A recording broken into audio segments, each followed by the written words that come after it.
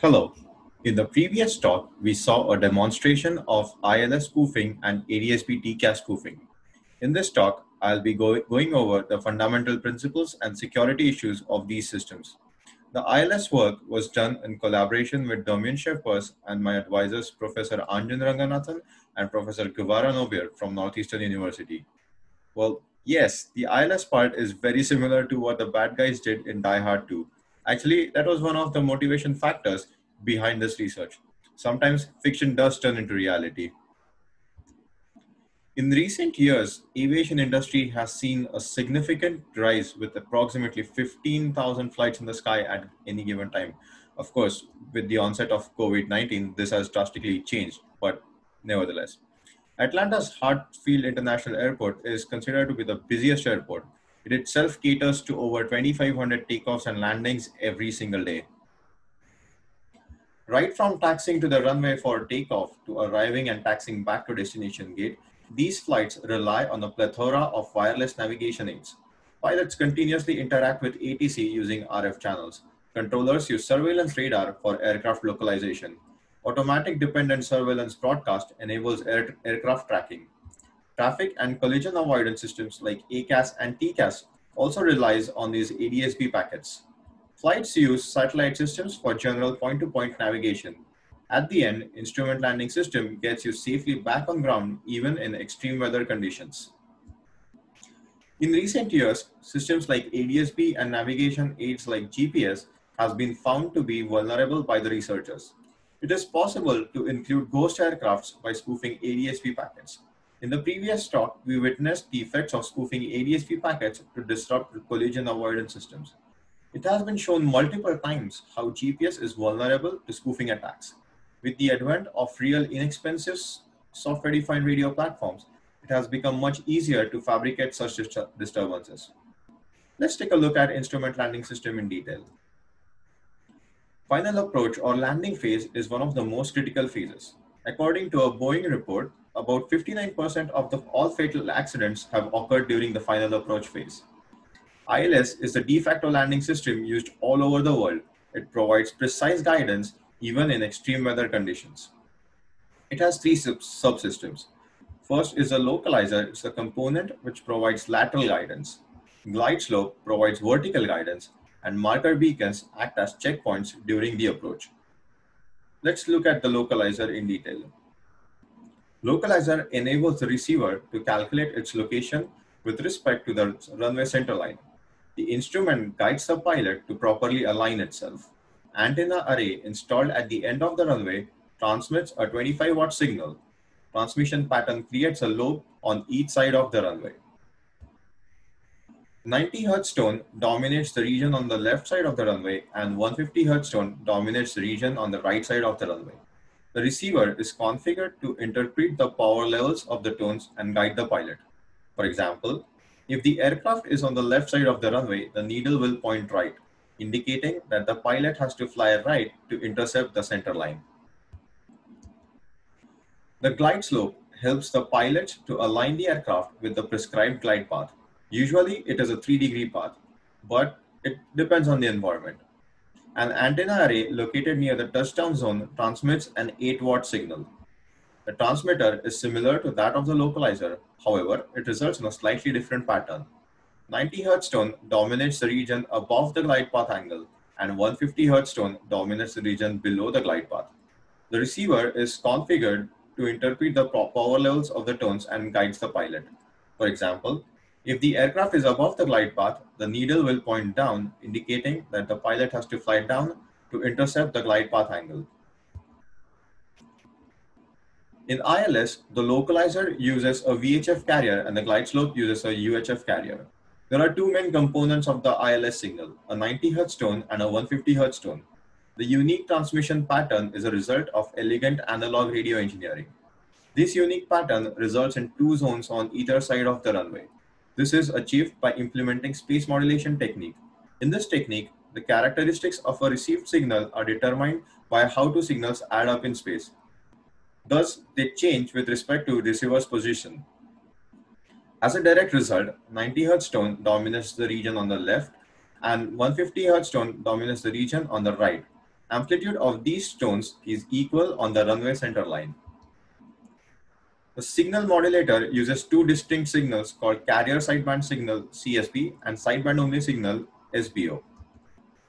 For generating the CSB signal, 90 Hz tone and 150 Hz tones are added. And for generating the SBO tones, these are added in a slightly different way.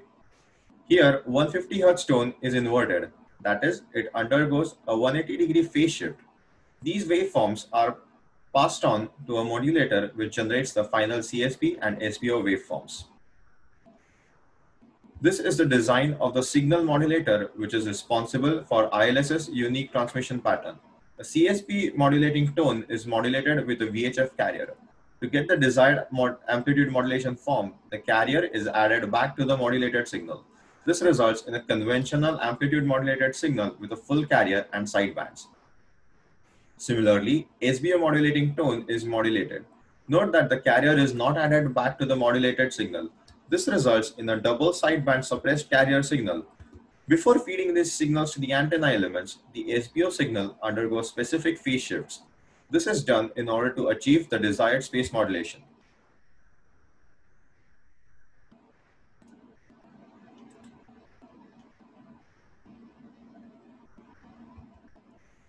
Alternatively, there is a provision of adding Morse code or voice to the CSP signal.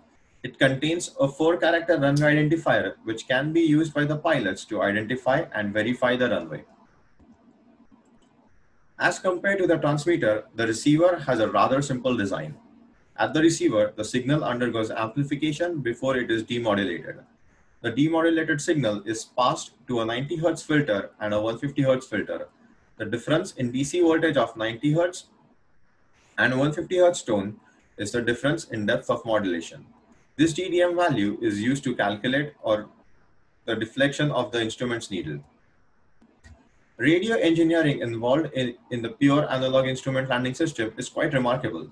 However, simplistic nature of the system also makes it very vulnerable to attacks. Before software-defined radios came into picture, executing these attacks was extremely difficult, not to mention expensive. Thus, only state actors had the means to carry out such an attack. However, nowadays, even you and I can execute such attacks and can potentially cause quite some damage with the cheap pocket-sized radios. A deeper analysis of the receiver design reveals that the needle deflection is solely based on the power levels of the received tones, in the past, there have been instances of ILS showing weird deflections as a result of an aircraft taxiing near the localizer antenna. Thus, an attacker simply has to transmit a signal which is similar to the real signal. That is, the attacker need not implement complex phase shifts. This is very similar to a not so widely used landing system called TLS or transponder landing system, where the landing system relies on modest transmissions to find the aircraft's position and transmits an ILS-like signal specifically crafted for that aircraft at that particular location. In these attacks, attacker's goal is to force the aircraft to overshoot the runway or completely miss the approach. Given the simplistic nature of the systems, the attacker can manipulate DDM calculations by simply altering the power levels of the received signals. In our work last year, we discussed two attacks. First is the overshadow attack, which involves signals with fabricated power levels, and singleton attack, which involves low power signals to achieve the objectives. With minor changes, the attacks work for the localizer as well as the glide slope. ILS implements basic principles of space modulation, that is how do signals add up in space. Being a simplex broadcast system, it possesses a fundamental challenge to implement any type of security mechanism, thus making attacks on these systems quite trivial. In overshadow attack, the attacker transmits a high power pre-crafted ILS signal equivalent to what will be received at a specific location. One important aspect characteristic of a typical wireless receiver is that it will always lock on to the stronger signal. This property is exploited in this attack. Since the receiver has a very simple design, the attacker has to transmit a signal similar to the received signal, even though the legitimate transmitter has quite a complex design. Hence, attacker needs to only craft the signals with specific amplitude. For example, in this case, this signal represents of the signal that will be received at the runway center line. Hence, if the attacker wants to cause a deflection, the attacker simply transmits a signal with altered power levels of 90 Hertz and 150 Hertz. In this case, 90 hertz is dominant. Thus, the, the needle will show will give a fly right indication. The advantage of this attack is that the attacker has granular, con granular control over needle deflections. Even though the overshadow attack requires just a few watts of transmission power, we wanted to find if the attack can be made more efficient and stealthy by reducing the energy footprint. For this, we came up with the single tone attack. Since the needle deflections depend directly on power levels of the tones, it is enough to transmit just one of the two tones that make up the ILS signal. In this way, the attacker can manipulate the power levels without having to transmit the entire ILS signal. The attacker signal is similar to a double sideband suppressed carrier signal, which is very well known to be spectrally efficient. In this case, the attacker just transmits the 150 Hz tone. As a result, the amplitude of 150 Hz is greater than that of 90 Hz tone. Thus, the instrument shows a fly left indication. This attack, as compared to an overshadow attack, has low power requirements. However, this attack is sensitive to phase difference between attacker tone and legitimate tone, which makes it quite complicated. The two attacks may seem quite simple and straightforward. However, there are certain challenges associated with executing these attacks. The first is that the aircraft can intercept the localizer from multiple directions. If the attacker is not careful while starting the spoofer, it may result in sudden needle jumps. This results in, de in detection. The second challenge is with a naive overshadow attack. If the attacker simply starts transmitting a pre-crafted signal, it results in a fixed un unreactive offset. This will make it super easy for the pilot to notice something is off and will totally forego ILS or, or may use some other system to land. To overcome these challenges, we developed two mechanisms, offset correction algorithm and spoofing zone detector. Let's look at them by one by one. The offset correction algorithm provides signal corrections in real time. The attacker's signal is adjusted as a function of aircraft's current GPS location.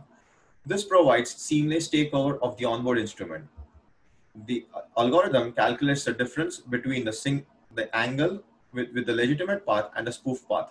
This offset is then used to calculate the required amplitude levels of the tones.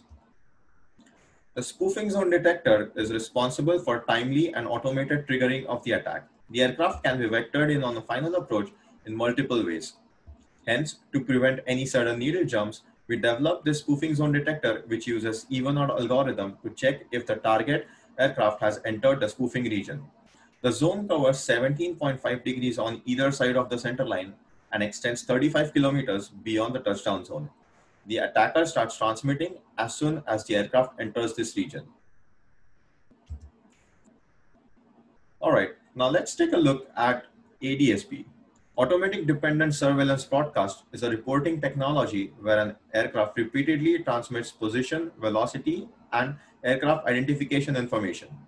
These packets can be received and decoded by MODES receivers. ADSB is similar to MODES except it doesn't require specific interrogation messages. As of January 2020, ADSB transponders are made mandatory for aircrafts operating under certain conditions in US airspace. ADSB greatly improves safety and efficiency by providing better situational awareness. It is also spectrally efficient and costs much less than MODES setups. Collision avoidance systems like ACAS and TCAS leverage ADSB packets. These are the signal characteristics. ADSB uses a carrier frequency of 1090 megahertz. The bandwidth is 50 kilohertz and it uses a simple pulse position modulation technique. Data rate for ADSB data is 1 megabits per second and two packets every are transmitted for every second. Polarization of the transmission antenna is vertical and transmission has a transmission power of about 20 watts. Well, all this is good about ADSB. It improves overall safety by increasing situational awareness, decreases load on the controllers by autom automated tracking of aircrafts, overall decreases operational costs and all. But what about security?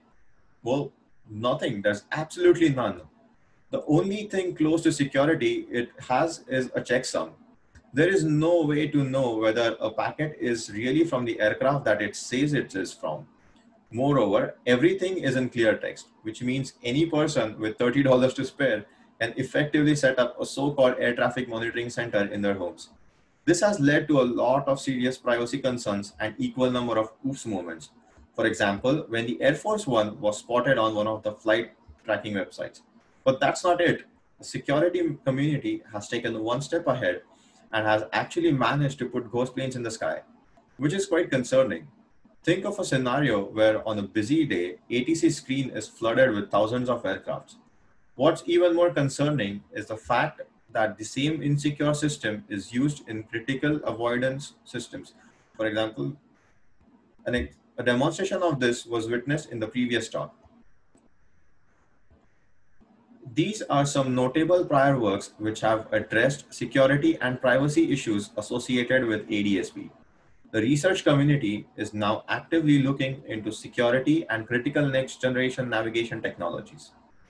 OpenSky Network, founded by Stomier et al., is a crowdsourced network of ADSB sensors located all over the world. This is a key resource in air traffic research. Following issues have been identified by the security research community. ADSB lacks any kind of authentication. It lacks integrity checks against in intentional tampering of messages. Sure, CRC checks can correct errors, but what if the messages, including the CRC checksums, are carefully manipulated over the air? It lacks encryption and temporal identities as it raises a major privacy concern and is a heaven for eavesdroppers. And finally, it lacks a secure handshake protocol for verification, authentication, and validation of data. So with all these issues, what are the threats that current aviation ecosystem faces? Well, all these issues give rise to a number of threats, which includes jamming and denial of service attacks. As discussed earlier, flooding the radar screens with thousands of aircrafts. Well, intelligence gathering. There have been researchers or there have been incidences where people have inferred or predicted business dealings by simply monitoring flight data, which was again made available through services like Flight Radar 24 and OpenSky Network. Well, it also there's also threat of message injection and manipulation, disruption of situational awareness, which is very specific to ACAS and TCAS spoofing, demonstration of which which we saw in the previous talk. And trust me, you really do not want a pissed off air traffic controller when you fly next. Let's look at the ADSB transmitter. ADSB transmits position, velocity, and aircraft identification information. The preamble is used for synchronizing the receiver and for indicating that an ADSB packet is arriving. The downlink format field is an indication of the type of message that is being transmitted. Capability field defines the subtype of the message being transmitted. Next are 24 bits, which are for aircraft's ICAO address. This is followed by actual ADSB data, which includes altitude, latitude, and longitude. At the end, 24 parity bits are transmitted, which helps the receiver to detect errors. Raw message bits of the prepared frame undergo Manchester encoding. This is a line encoding scheme, which is very similar to binary phase shift keying. The encoded data is then modulated using pulse position modulation technique before being transmitted using the radio frequency front end at 1090 megahertz. ADSB follows a very basic insecure protocol. The encoding and modulation scheme that is used is easy to implement. Actually, there are straightforward functions in MATLAB that can perform the encoding and modulation, thus making it quite trivial to build a transmitter with a couple of hundred dollars worth of equipment. Even better, there are open source tools out there which can do the heavy lifting for you. Lack of security measures and simple design makes the system vulnerable to spoofing attacks, especially with cheap over-the-shelf equipment like low-cost software-defined radios, amplifiers, and antennas makes it rather easy to generate and transmit malicious ADSB packets. Well, once you have a transmitter design ready and understood, you can simply code everything and boom, a transmitter is now a fully functional ADSB spoofer. This is a small spoofing example. Imagine being a controller and seeing this on your display. That would really piss you off. Now that we have seen the security issues associated with ILS and ADSB, Let's go over some potential countermeasures. Recently, GPS-based landing systems are being introduced. They are not yet cleared for Cat2 and Cat3 approaches. However, they will be replacing good old ILS sometime in future. But we all know how vulnerable GPS is. Signal strength monitoring can be implemented for detecting overshadow attacks. Most of the ILS attacks can be executed from within the aircraft cabin while it is on the final approach. Hence, detecting transmissions from within the cabin may prove to be useful in detecting these attacks.